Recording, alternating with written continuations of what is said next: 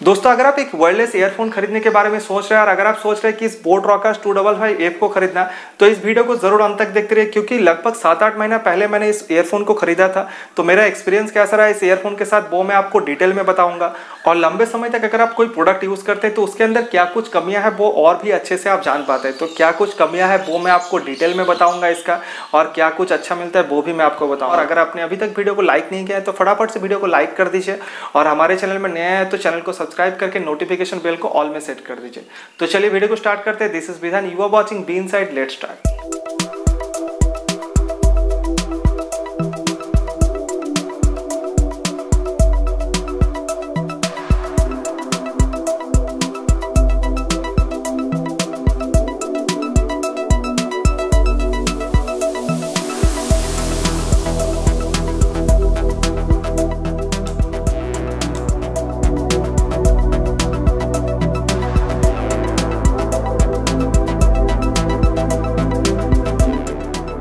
चलिए one by one पूरा details बताते हैं इसी boat Rockerz two double five app के बारे में। बॉक्स के अंदर आपको इस तरह का एक डेटा केबल मिल जाता है, जिससे आप चार्ज कर सकते हैं इस हेडसेट को, लेकिन बहुत ही छोटा है। और आपको दो पेयर एक्स्ट्रा एयरबड्स मिल जाता है, जो कि आप आपके कानों के हिसाब से सेट करके यूज़ कर सकते हैं। अगर इसके फ़िज़िकल ओवरव्यू के बारे में मैं आपको बताऊँ तो यहाँ पे आप देख सकते हैं, ये जो लेफ़्ट साइड है, ये पूरा खाली है, इसमें कुछ भी बटन वगैरह आपको नहीं मिलता है। इसके अंदर एक सौ का एक बैटरी मिल जाता है, जो कि लगभग एक घंटा तीस मिनट में फुल चार्ज हो जाता है। तो राइट साइड में आप देख सकते हैं कि यहाँ पे आपको तीन बटन मिल जाता है।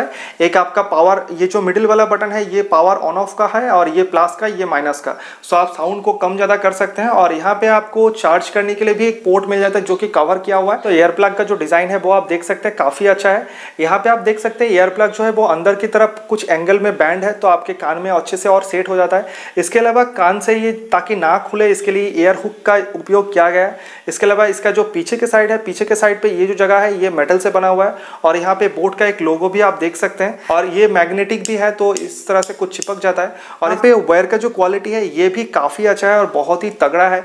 तो कुछ इस तरह का जो है इसका डिज़ाइन है। दोस्तों इस बॉक्स को जब मैं अच्छे से आज देख रहा था तो एक चीज़ मैंने यहाँ पे नोटिस किया ये जो हमारे कार्तिक आर्यन साहब है ये ऐड तो कर रहे हैं इसी हेडसेट के बारे में लेकिन पहना हुआ कोई दूसरा हेडसेट है। और पहन के इसका फ़ोटो भी जो दिया हुआ है इसमें एक दूसरा हेडसेट दिखाई दे रहा है। तो पता नहीं ये क्यों कर रहे हैं बट कर रहे हैं ऐसा मैंने नोटिस किया तो आप लोगों को बता दिया।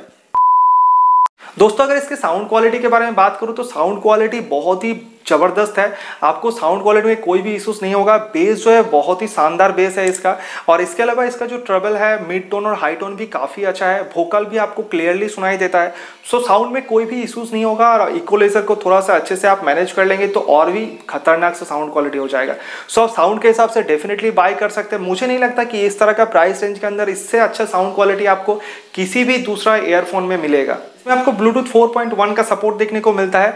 अगर इसके वॉक डिस्टेंस के बारे में बात करूँ तो 10 मीटर इसका रेंज है। अगर आप बिना ऑब्स्टेकल यूज़ करते हैं तो आपको कोई भी प्रॉब्लम नहीं होगा। लेकिन अगर बीच में आपका एक आध दीवारें आ जाता है सो वहाँ पे थोड़ा सा प्रॉब्लम होता है और कॉल्स में ज़्यादा प्रॉब्लम होता है म्यूज़िक में उतना प्रॉब्लम नहीं होता है। इसको सो इस विषय में इसका जो परफॉर्मेंस है वो एवरेज में बताऊँगा आपको। कॉल क्वालिटी के बारे में बात करूँ तो कॉल क्वालिटी बहुत ही अच्छा है। आपको कोई भी इशूज नहीं होगा। नॉइस कैंसिलेशन भी है और आप धीरे से भी बात करेंगे तो बहुत ही क्लियरली सुनाई देता है दूसरा साइड पे। अगर इसके प्रॉब्लम के बारे में बताऊँ तो यहाँ पे आप देख सकते हैं ये जो एयर हुक है, इसके कारण अगर आप बहुत देर तक यूज़ करते हैं तो यहाँ पे थोड़ा सा प्रॉब्लम होता है। तो इसलिए मैं जब बहुत देर तक यूज़ करता हूँ तो इस एयर हुक को निकाल के इस तरह से छोड़ देता हूँ और इस तरह से मैं यूज़ करता हूँ।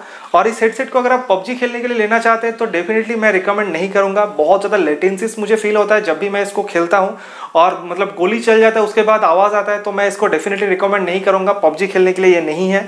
दोस्तों, इस हेडफोन का जो म्यूज़िक प्लेबैक टाइम है, वो आपको लगभग पाँच से छः घंटे का मिलता है। सो इसमें थोड़ा सा मुझे प्रॉब्लम होता है। अगर आपको इसका जो म्यूज़िक प्लेबैक टाइम सात आठ घंटे से ज़्यादा होता तो बहुत ही अच्छा होता।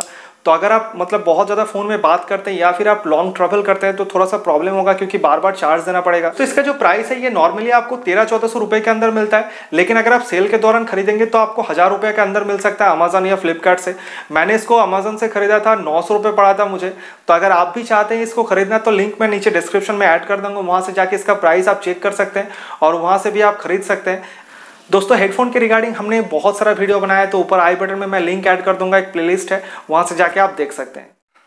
सो so गाइज़ अगर फाइनली मैं बात करूँ कि इस हेडसेट को आपको खरीदना चाहिए या नहीं तो डेफिनेटली आप इसको खरीद सकते हैं। मेरी तरफ़ से बिग थम्स अप है। इसका जो साउंड क्वालिटी है, वो बहुत ही औसम है, और बाकी सारा जो चीज़ें मिलता है, वो भी बहुत अच्छा है। इसका जो प्राइस रेंज है, इस प्राइस रेंज के अंदर ये एक बेस्ट एयरफोन है, आप इसको खरीद सकते हैं, बिल्कुल। और लिंक भी आपको नीचे डिस्क्रिप्शन में मिल जाएगा, वहाँ से जाके आप इसको परचेस कर सकते हैं। सो दोस्तों, आशा करता हूँ कि ये वीडियो आप लोगों को अच्छा लगा होगा। अगर वीडियो अच्छा लगा तो वीडियो को लाइक करना मत भूलिएगा और कोई भी आपका सवाल या सुझाव है तो आप नीचे कमेंट में पूछ सकते हैं। मैं आपके कमेंट का रिप्लाई ज़रूर करूँगा। और अभी तक अगर आपने हमारे चैनल को सब्सक्राइब नहीं किया है तो ज़रूर से सब्सक्राइब करके नोटिफिकेशन बेल को प्रेस करके ऑल में सेट कर दीजिए। तो चलिए, मिलता है नेक्स्ट वीडियो में। तब तक के लिए good bye thank you so much video देखने के लिए बहुत बहुत धन्यवाद।